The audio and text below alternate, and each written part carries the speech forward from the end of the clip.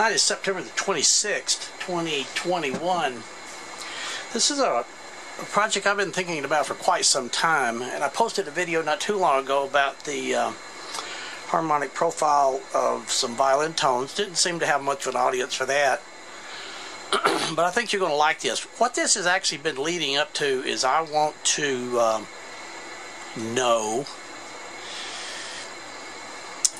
first of all, document and the performance of an SET amplifier. That's what this is really all about, the SET. Uh, here's an SET amp I built not too awful long ago. I made a video of it. I even sprung for the high-end um, Genelex 300Bs. Sounds beautiful. It's a uh, it's a choke-loaded plate right here, and then it feeds into these James transformers which is which are there just to take the high impedance of the tube and give me 8 ohms for a speaker. Power transformer, single 6SN7 drive in each one. Pretty simple design. You can find it all over the internet. Uh, you don't find the choke loaded ones all that often, but uh, it seems to work quite well. And I'll make a I'll make a statement about these choke values.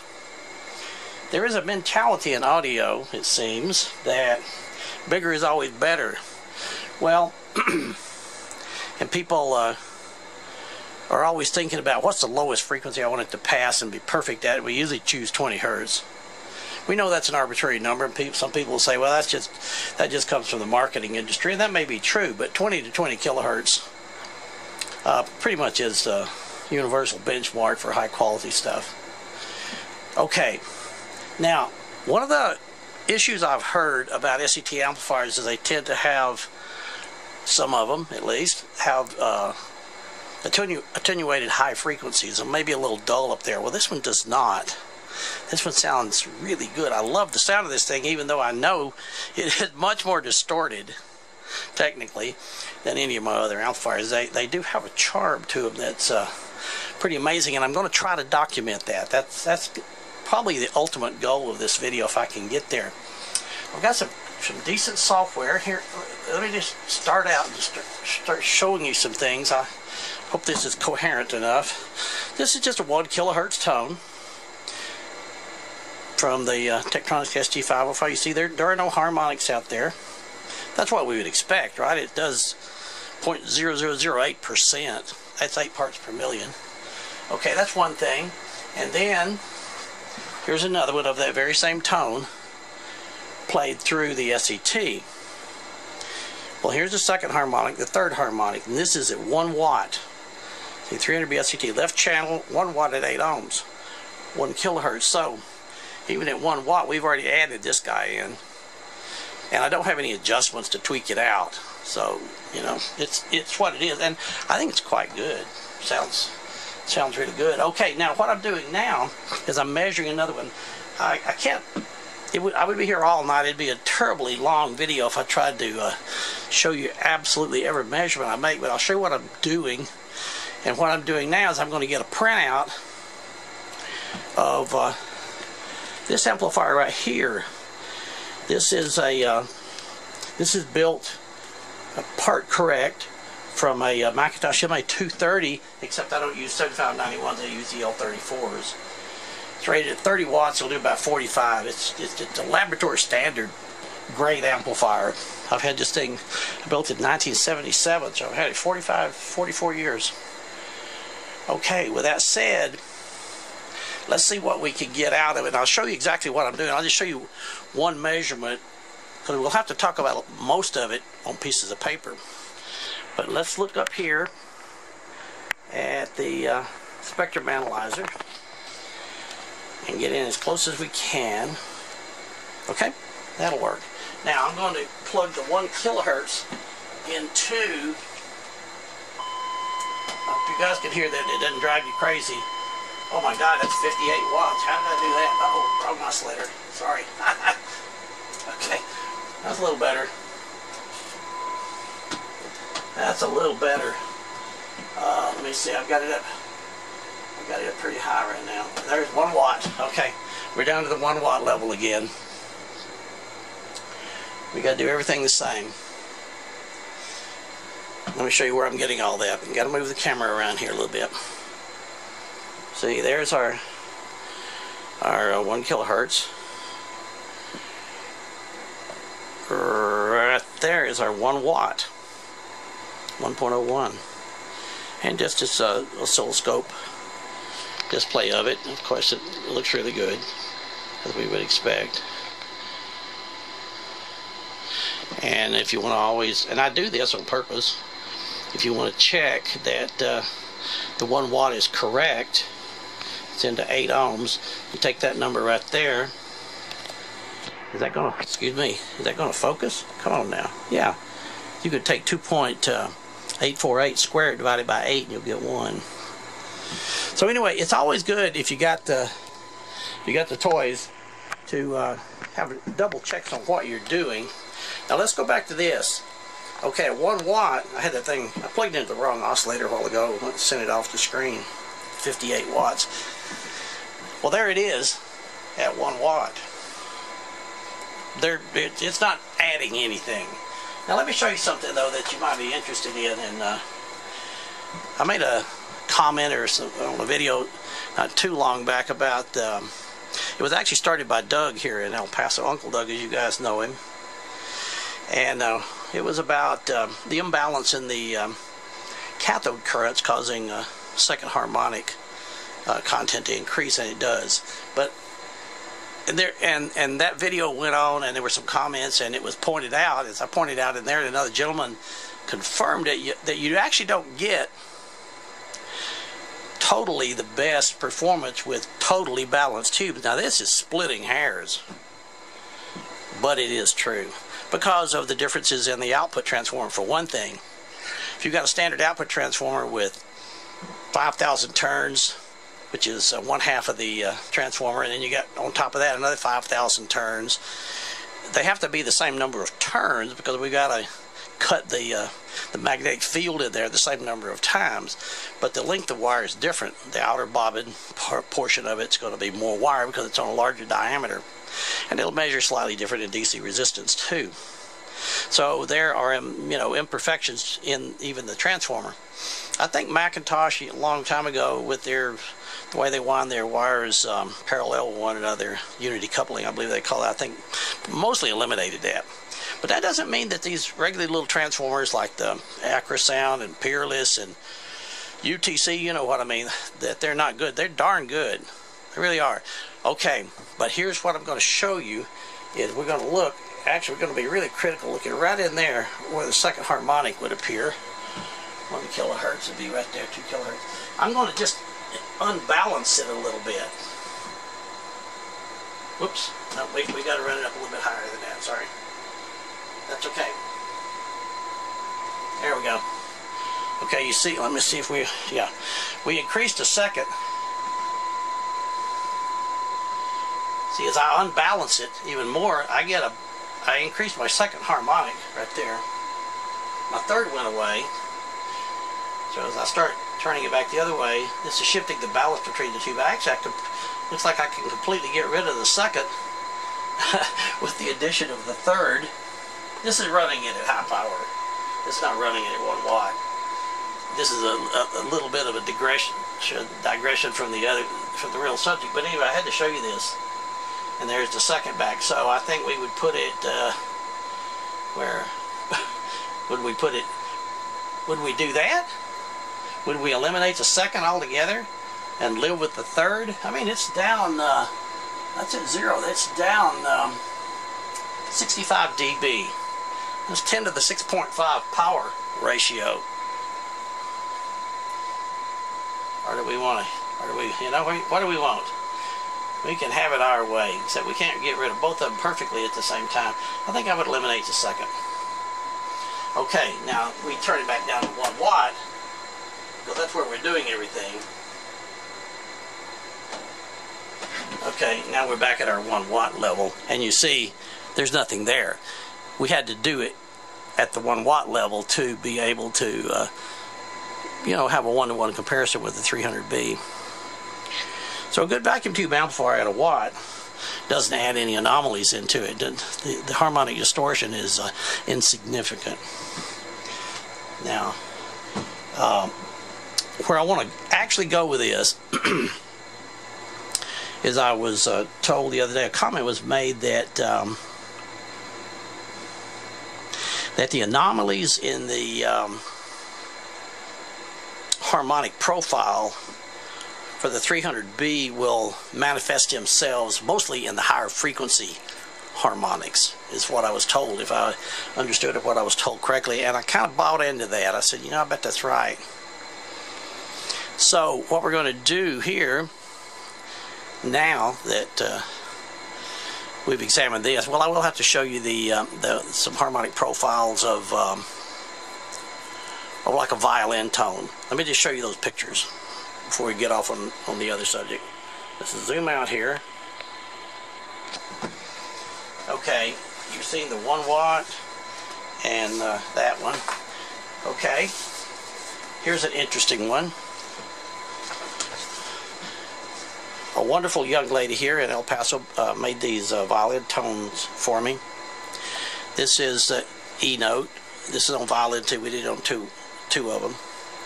And this is what it looks like coming straight out of the um, of the recorder. Quite a nice little recorder. I don't know why I picked that. I, I, I didn't mean to pick that uh, one kilohertz tone. God, it's, it's so difficult to get everything exactly right. Actually, we're looking at, um, what note are we looking at? E. And the frequency of E is uh, 659 hertz. Yeah, darn it. This thing right here should be over here. That's where it should be. It should be right there showing us that. Anyway, making mistakes already. This is what it looks like coming straight out of the uh, recorder. And um, coming out of the... Uh, no, that's wrong. Well, I'm going to have to get my pages straight first. Okay, what needs to be uh, seen here, this right here, uh, which was nothing but the note and the violin, and it was played out of, uh, this is the tone straight out of the uh, recorder. This is actually kind of hard to see unless you can just left, right, left, right, left, right the uh, things. Here it is. I don't know if I can put these two side by side so you can see them both. Probably not. It's going to be difficult. Uh, you can grind them down. Yeah, I think I find something way out there around the ninth or the tenth harmonic that's ever ever so slightly different. But for all practical purposes, they're the same. I think the slight difference I see in one or two of the harmonics way out here, it's not that big a deal. I think it's probably within the error of the measurement.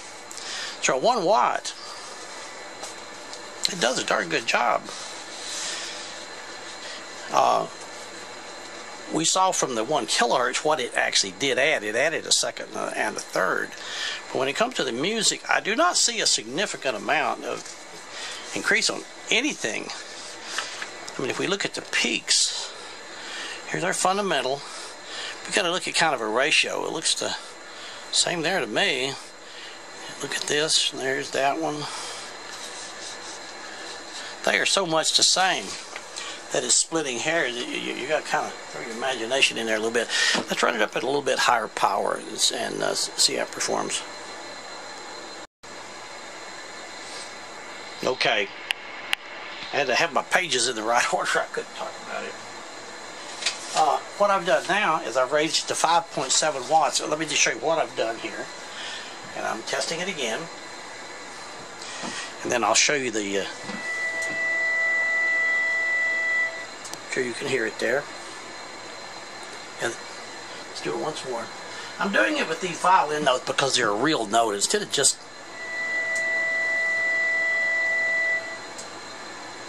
instead of just some one kilohertz, you know, clinical study. Here, okay, look here. It does seem to. This is this is uh, the perfect Let's zoom back out here. This is the, uh, right out of the recorder, this is our standard. And I've looked at all these harmonics up here. And what it does do, we're not driving the, the amplifier to its maximum power. I just ran it up to 5.7 watts. It does a really good 7, 7, sometimes 8 watts. Now it's quite a nice little amplifier, but anyway, this is this is our model, and this is what we get. All of those come up there pretty much. You need to see both these at the same time as you can. There you go. Maybe I can get these side by side. There you go. Stare at that for a second. Well, that one behind it makes that one hard to see, doesn't Doggone it. Just can't have it all. If, uh, if you weren't able to see through the, through the back of it, I think it'd be better. Let's do it like that. Maybe that'll help. Yeah. So our amplifier does this to it. It does seem to uh, have its effect out there. That's actually starting out at the sixth harmonics. 6, 7, 8, 9, 10, 11, 12, 13, and then 14 on both of them. It's way down here. I wonder, it just has a, a dislike for the 14th harmonic for some reason. But it changed this, which is as close to what the violin should sound like. It made it sound like this. And this is what it sounds like. It sounds like this, or it sounds like this. You know, with that AB box that I built, if I could do one, the other, one, the other, one, the other, I wonder if we'd hear it. I think some ears would. I have friends here in town that are musicians. I think they'd hear it. And I think some of you guys would hear it too. Even over the internet and um, YouTube and everything else. So, anyway, that is the project. I guess I've uh, kind of satisfied it. I was going to do it for all of the tones, and oh my, I, you know, I just I was going to be here for hours doing this, but I, I think it made the point. And um, I'll tell you one other thing. I've been doing some uh, some interesting work on. Um, I want to know what the resonant frequency of our chokes are. I want to know what the resonant frequency of, for example, this choke. Well, it's not that hard to figure out. You use a, a very sensitive uh, little uh, detector and you measure its resonant frequency. Uh, you put a resistor in series with it and you put a tone through it and you measure the voltage across the resistor. I found that it didn't work very well loading it across the inductor. And you know, uh, when it's resonant, it would be parallel resonant because the capacitance of the uh, choke or the transformer would be parallel with the inductance. And at uh, resonance, that presents a high impedance. So if you put a voltmeter across that, you, you would expect to get a peak. But I couldn't get a very good peak across that. But as I put a 470k resistor in series with it and measured across the, um, the resistor for a dip, because as the um, impedance rises on the on the uh, resonant circuit, there's going to be more voltage drop across it and less voltage drop across the resistor. It works perfectly. It's absolutely beautiful, but here's the point of it all. So that you don't have to, unless you just, you know, can't control yourself and you have to go out and measure something, if uh, the shunt capacitance is darn close to the capacitance of the winding, either side of the winding, to the case for all practical purposes, it's the same. I don't remember the numbers that came out, but they were something like, oh, I don't know, 168 picofarads, maybe a perfect resonance, and, uh, you know, 140 picofarads to, to the case. So you see, if you need to know basically the shunt capacitance of your uh, of your choke, you can just measure it to the case, and it'll give you a pretty good number. Okay, well that's it. I guess I don't really have much more to prove on the SET. Is this one uh, significantly different from one that uses a gapped uh, output transformer? I don't know. I'm not going to build one just to find out. Uh, this stuff is just getting too hard to do. I am going to have a friend come down here if everything goes right from Denver, and he and I are going to build a push-pull 810 amplifier. He's going to have to do all the heavy lifting and take it back for uh, for his band. you can get as much as uh, 725 watts out of a pair of push-pull 810s, so we'll see what we can get. We'll make a video of that. So hopefully I'll have something to post on that in about a month. All right, ladies and gentlemen, thanks for watching. Stay safe. God bless, and uh, we'll carry on.